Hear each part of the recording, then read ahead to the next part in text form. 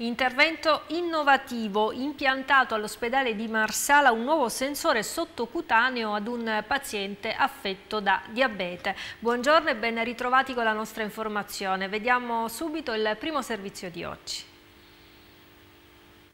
Un sensore impiantato nel sottocute del braccio che consente di misurare 24 ore su 24 il valore di glucosio che il paziente può leggere su un'applicazione del proprio cellulare. È la nuova tecnologia che l'unità operativa di diabetologia dell'ospedale Paolo Borsellino di Marsala ha messo a disposizione dei suoi pazienti. Il dispositivo si chiama Continuous Glucose Monitoring Eversense.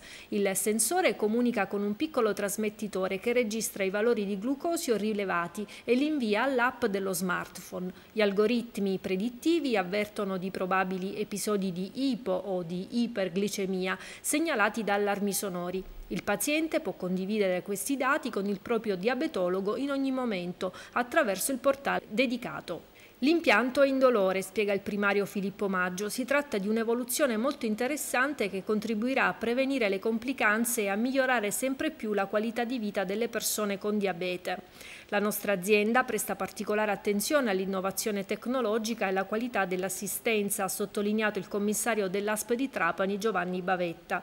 Stiamo assistendo, ha aggiunto il direttore del presidio ospedaliero di Libetano Francesco Giurlanda, a una vera e propria trasformazione nella gestione del diabete. Essere stati e continuare ad essere tra i primi in Italia a poter contribuire a questo cambiamento epocale ci riempie di orgoglio e di soddisfazione. Ci rivediamo tra poco, sempre in diretta con i nostri TG.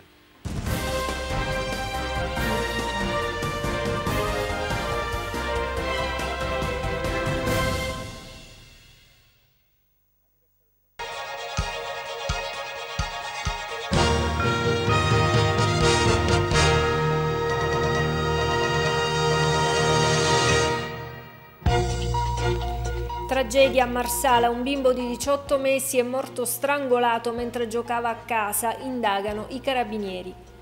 Alcamo arrestato un evaso. Ai domiciliari per lesioni e danneggiamento si era allontanato dalla sua abitazione in barba al provvedimento restrittivo. Non siete più sole, denunciate il messaggio che questa mattina l'Inner Will di Trapani ha lanciato alle studentesse dell'Istituto Magistrale Rosina Salvo nel corso di un incontro su stalking e bullismo, il servizio nella seconda edizione.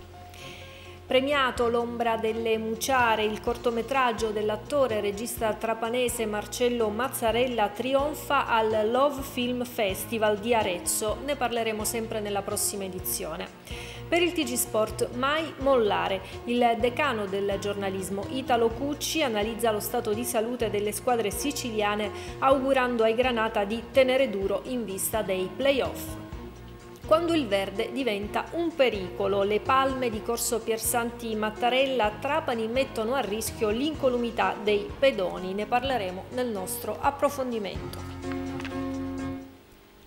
Buongiorno e ben ritrovati. Un bambino di un anno e mezzo è morto ieri a Marsala in un incidente domestico. Il servizio. La giornata del primo maggio a Marsala è stata caratterizzata da una tragedia che ha colpito una giovane famiglia ma anche l'intera comunità che vive oggi ancora l'eco del dolore per la morte a causa di un incidente domestico di un bimbo di neppure due anni, morto strangolato mentre giocava, sembra, con la cinghia della borsa della madre appesa ad una sedia. È stato un attimo fatale in cui Giorgio, questo è il nome del piccolo, è sfuggito all'attenzione dei genitori. Il primo ad accorgersi dell'episodio sembra essere stato stato il padre che ha visto il bambino cianotico, quindi la corsa al pronto soccorso dell'ospedale Paolo Borsellino, dove purtroppo non c'è stato nulla da fare. Impossibile per i medici strappare Giorgio alla morte. Era già troppo tardi e la morte per soffocamento è sopraggiunta senza pietà, come dimostrano i segni della cinghia sul collo del bambino. Sul posto, naturalmente, ieri anche le forze dell'ordine al lavoro per ricostruire con precisione la dinamica del tragico episodio, mentre il corpo senza vita del piccolo veniva portato presso la camera mortuaria. E proseguiamo con la cronaca. Un arresto per evasione è stato eseguito dai carabinieri di Alcamo. Si sottrae all'obbligo del domicilio e viene arrestato dai carabinieri. Accaduta ad Alcamo, protagonista della vicenda, Pietro Renda, che era già ai domiciliari per lesione e danneggiamento. In barba al provvedimento restrittivo a cui era sottoposto, l'uomo si è allontanato arbitrariamente dalla sua abitazione. Così, quando i militari dell'arma si sono recati nel suo appartamento per procedere ad un controllo, lui è risultato assente. Immediatamente scattavano le ricerche dell'evaso, che poco dopo è stato rintracciato nella zona del centro storico e arrestato. E adesso apriamo la pagina dell'informazione elettorale in vista delle amministrative del 10 giugno.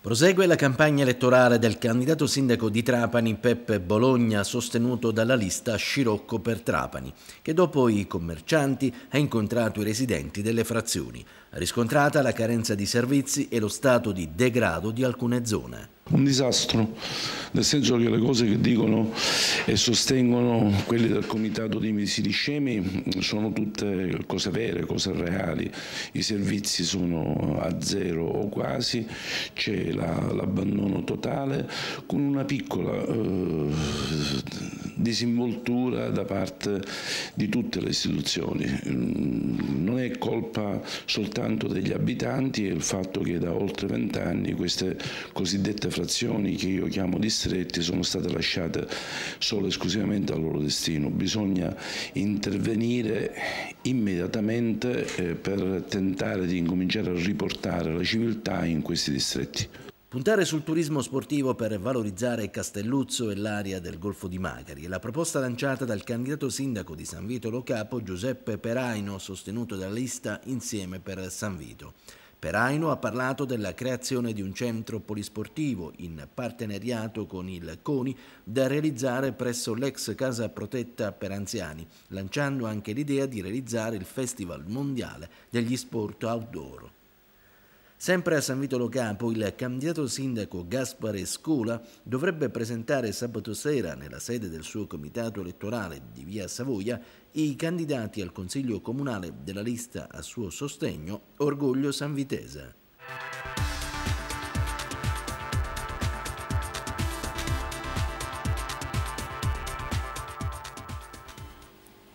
A distanza di circa dieci giorni dal nostro servizio, la vasca di piazza Ciaccio Montalto continua a restare sporca e senza acqua. I pesci rossi che erano stati prelevati nel tentativo di salvarli sono purtroppo morti quasi tutti. Le aiuole continuano ad essere piene di erbacce e rifiuti. A nulla è servito l'appello lanciato da Antonio Bulgarella al commissario straordinario del comune. La piazza resta sporca e l'acqua della vasca, ormai putrida, attira moscerini e zanzare.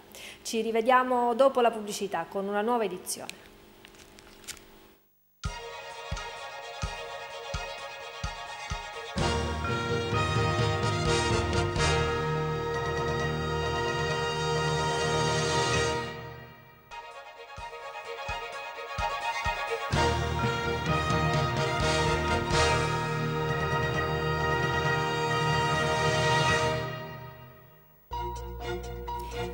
Siete più sole, denunciate il messaggio che questa mattina l'Inner Will di Trapani ha lanciato alle studentesse dell'istituto Rosina Salvo nel corso di un incontro su stalking e bullismo. Premiato L'ombra delle Muciare, il cortometraggio dell'attore e regista trapanese Marcello Mazzarella trionfa al Love Film Festival di Arezzo. Per il TG Sport Mai Mollare, il decano del giornalismo Italo Cucci analizza lo stato di salute delle squadre siciliane augurando ai Granata di tenere duro in vista dei playoff.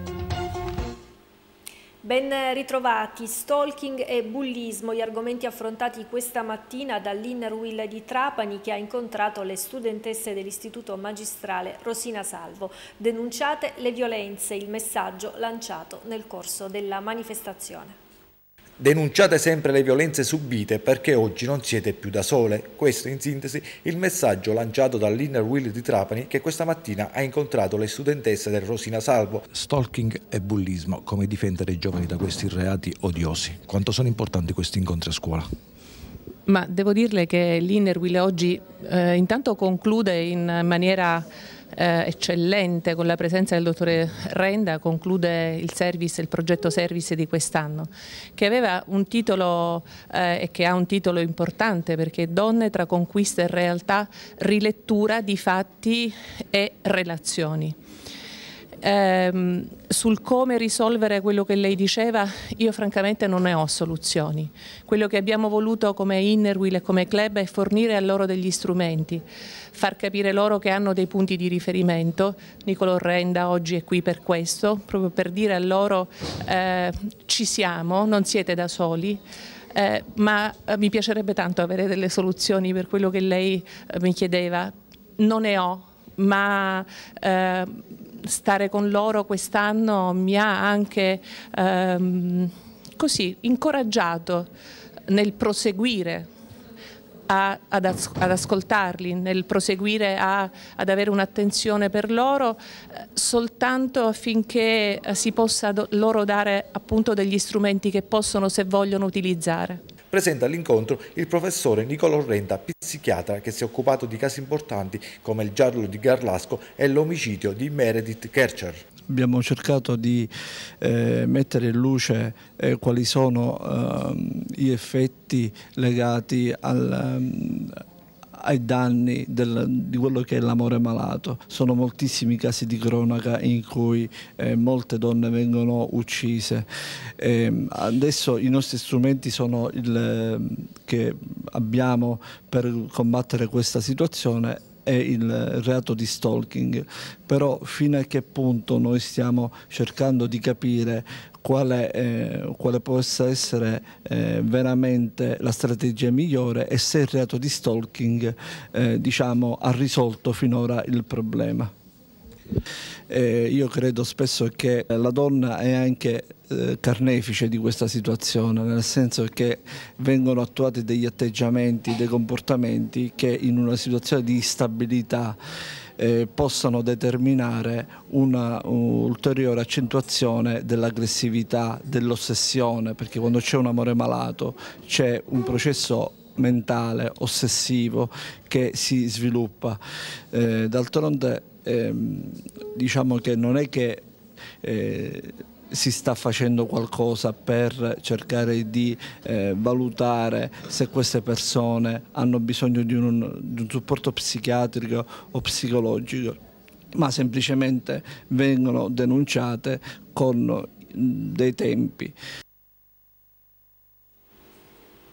In occasione del primo maggio si è svolta ieri a Napola una tavola rotonda organizzata dalla Proloco di Erice con il patrocinio del Comune al centro dell'incontro i diritti spesso dimenticati, anche riferimento ai bisogni del territorio. A seguire musica, degustazioni, torneo di carte e giochi. Presenti numerose associazioni operanti nel sociale e nell'ambito ambientale. Nel pomeriggio una seconda tavola rotonda che ha visto la partecipazione di rappresentanti sindacali di CGL, Cisle Will, del Nursind, dell'Anmil sul tema eh, del lavoro e delle prospettive per il futuro.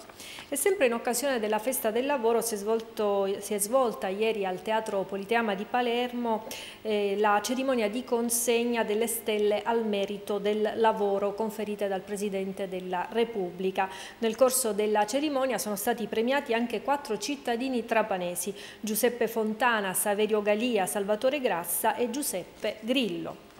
Passiamo al prossimo servizio, ieri pomeriggio ad Arezzo al Love Film Festival l'Ombra delle Muciare ha ricevuto il primo premio per la categoria cortometraggio. Neanche il tempo di presentarlo ufficialmente che già il lavoro dell'attore e regista trapanese Marcello Mazzarella riceve il primo premio. Ieri pomeriggio infatti ad Arezzo l'Ombra delle Muciare ha battuto nella finale per la categoria cortometraggi i concorrenti A volte Dio di Luigi Fedele, Guardami negli occhi di Riccardo Cozzari e So Close to Me di Daniele Bonarini. Il Love Film Festival ha fatto il suo esordio oggi con la sua prima giornata per un festival cinematografico nazionale incentrato sull'amore in senso lato, una manifestazione che giunta alla sua quarta edizione è cresciuta molto in questi anni fino a diventare punto di riferimento per il mondo del cinema italiano. Infatti in questi tre anni sono arrivati ospiti del calibro di Giancarlo Giannini, Pupi Avati, Marco Bellocchio, Raul Bova, Elio Germano, Anna Falchi, Marco Bocci e tanti altri. Così il cortometraggio girato per intero in provincia di Trapani, con quasi tutte le sue location sparse tra Bonagia e Valderice, ha ricevuto nelle mani dell'attore protagonista di tanti film impegnati del cinema italiano, come Placido Rizzotto e Biagio, il Grifone d'Oro, intitolato a Francesco Petrarca, dalle mani del direttore artistico della rassegna Daniele Corvi. Sarà la volta oggi del primo big, Federico Moccia, che presenterà la sua nuova opera cinematografica Non c'è campo, storia di un gruppo di ragazzi che in un casolare sperduto decide di fare a meno dell'energia e dei cellulari. Nel cast Vanessa Incontrada, Claudia Potenza, Corrado Fortuna e Cesare Pasotti. Sempre domani si terrà un interessante incontro con l'attore Giordano Petri sul tema del femminicidio e la violenza sulle donne, con la presentazione in anteprima di Credo in un solo padre, per la regia di Luca Guardabascio. Poi ci si sposterà a Perugia, dove il 3, 4, 5 e 6 maggio si aprirà la Kermesse nella sezione ufficiale che vedrà arrivare quattro anteprime nazionali e star come Carlo Verdone e Paolo Genovese. Ma intanto il primo riconoscimento ufficiale è arrivato proprio alla nostra terra. Una grande soddisfazione per Mazzarella che ha scritto il soggetto assieme a Paolo Pintacuda e tutto il cast strettamente siciliano e trapanese in particolare, con le attrici Giacometta Marrone d'Alberti, Vanessa Galipol e Loredanita Playa e con noi protagonisti maschili Antonio Bonanno e Mauro Spitaleri. Il film è stato prodotto con il contributo di Salviamo le tonnare dell'imprenditore Nino Castiglione e dell'Associazione Culturale Impronte Musicali. E vi segnalo che questa sera alle 21 in replica alle 23 riproporremo lo speciale sul cortometraggio dell'attore e regista trapanese Marcello Mazzarella intervistato dal nostro Wally Cammareri. Adesso a Paceco dove prendono il via i festeggiamenti straordinari in onore di San Francesco di Paola nel 75 anniversario del patronato della gente di mare in Italia. Da oggi fino a lunedì ogni giorno una serie di eventi religiosi culturali e folcloristici. Oggi alle 18 la Santa Messa e a seguire la scinnuta della Sacra Statua e quindi l'accoglienza della Sacra Reliquia del bastone du Santu Pace in piazza. Da domani il triduo di preghiera e domenica 6 maggio alle ore 17 la sorenne processione per le vie di Paceco. La sacra reliquia del bastone è possibile visitarla tutti i giorni fino a lunedì mattina. La manifestazione organizzata dalla Rettoria di San Francesco di Paola di Paceco in collaborazione con la parrocchia e col patrocinio gratuito del Comune. E adesso vediamo che tempo farà nelle prossime ore.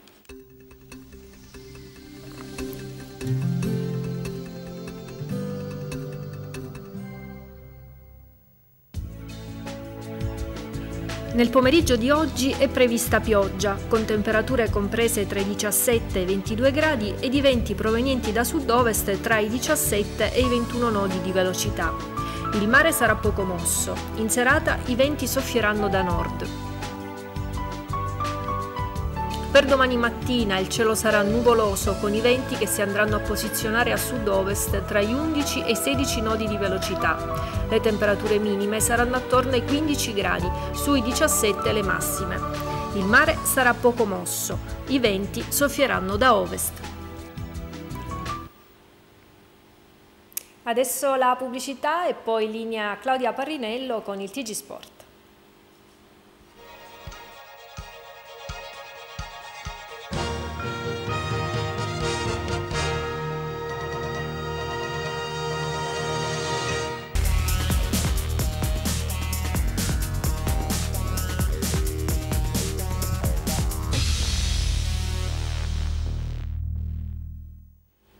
Buongiorno a tutti e benvenuti al TG Sud Sport. Apriamo con il calcio. Il decano del giornalismo Italo Cucci ha commentato lo stato di salute delle squadre siciliane, augurando ai Granata di tenere duro in vista dei playoff. Ascoltiamo.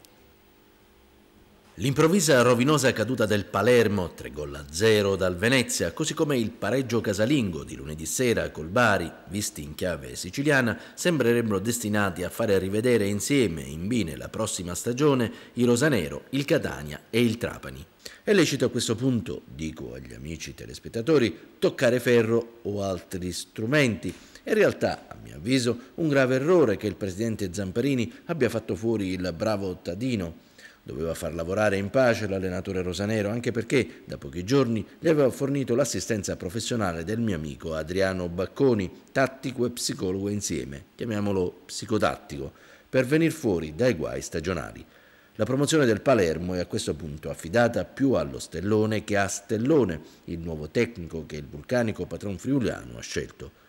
Spostandoci in Lega Pro, invece, il calcio siciliano propone le imprese del Trapani, la squadra più brillante e pratica insieme, reduce dalla fondamentale vittoria del Cibali, che confermano la sua salute fisica e nervosa.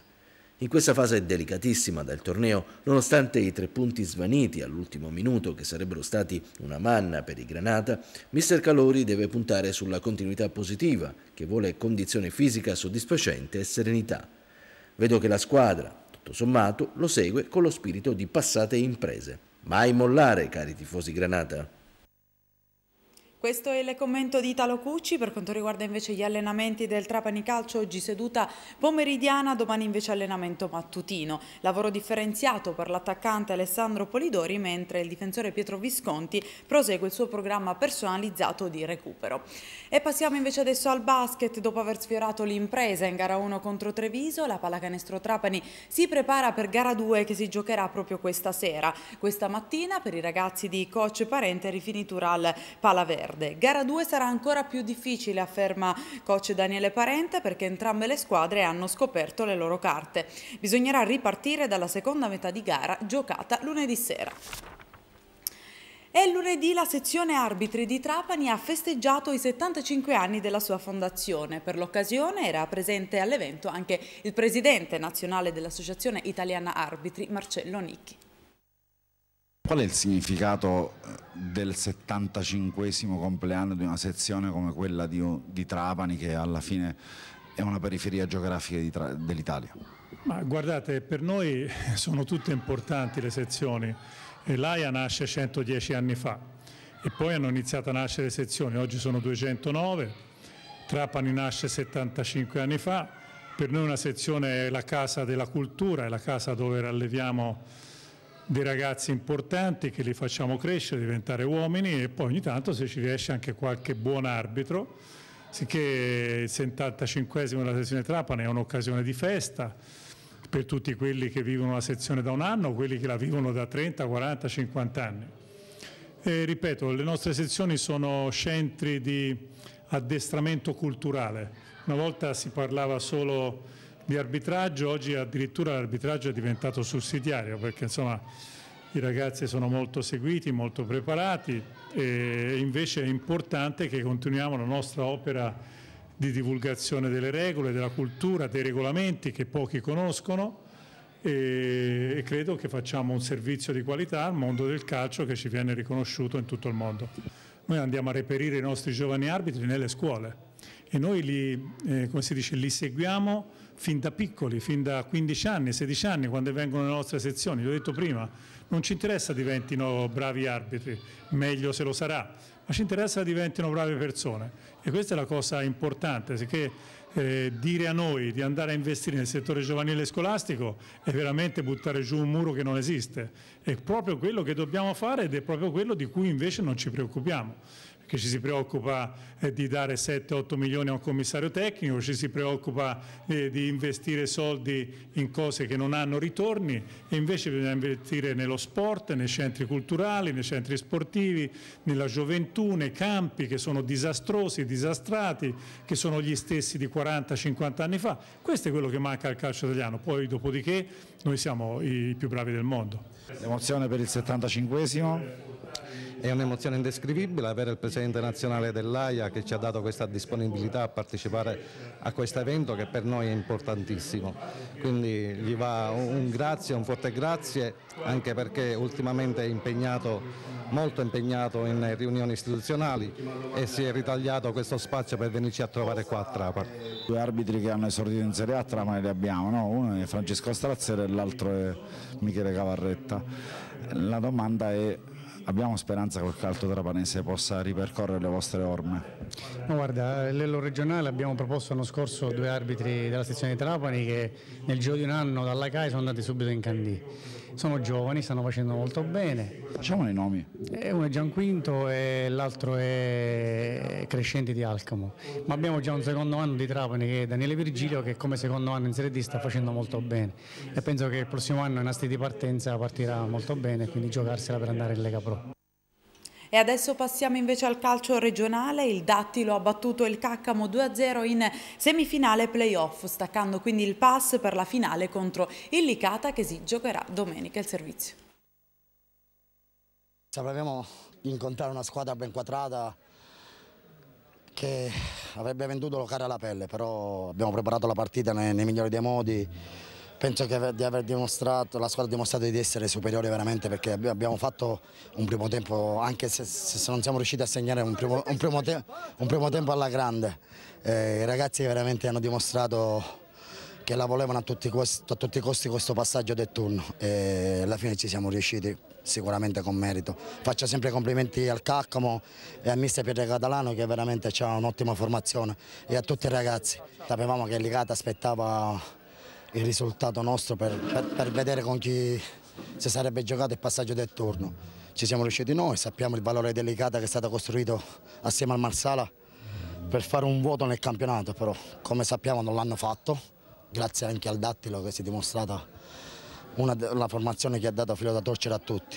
E la cosa positiva potrebbe essere che andiamo a giocare a campo neutro, andiamo là con l'incoscienza, con la spavalderia di, di giocarci tutto per tutto a viso aperto, per cui noi, a noi spetta solo la vittoria.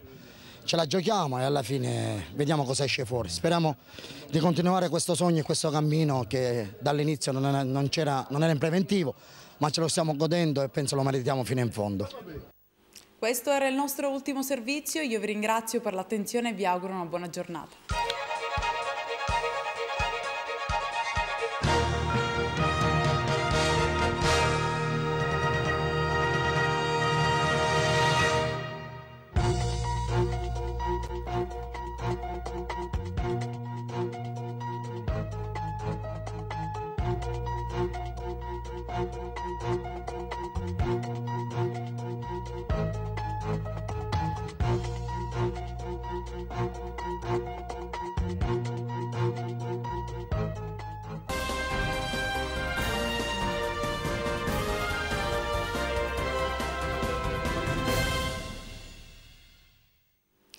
Quando il verde diventa un pericolo, le palme di Corso Piersanti Mattarella mettono a rischio l'incolumità dei pedoni. Ben ritrovati nel nostro approfondimento di oggi. Vediamo il servizio. La città, che ha uno fra i più bassi indici di verde pubblico, ha sicuramente anche un record negativo per quanto riguarda la cura di quel poco di verde che c'è.